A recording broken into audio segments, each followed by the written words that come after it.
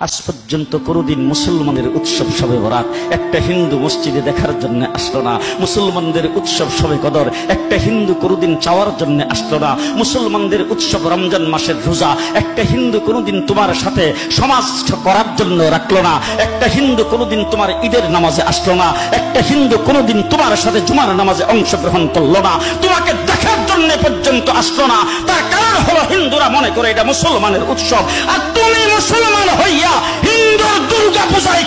কীভাবে তোমার কি হয়ে গেল? তোমার কি লজ্জা শরম তুমি দয়ে ফেলে দিয়েছ? তোমার কি কোনো লজ্জা শরম নাই? লজ্জা শরম নাই? আবার কি সুন্দর বলতেছ, ধর্ম যার যার উৎসব সবাই। High high high. ও, মুসলমান যুবকেরা, ভালো করে শোনো। ধর্ম যার যার উৎসব সবার তাইলে বিয়া যার যার বউ তো সবার জি? বিয়ে যার যার বউ সবার পুষ্কুনি যার Likey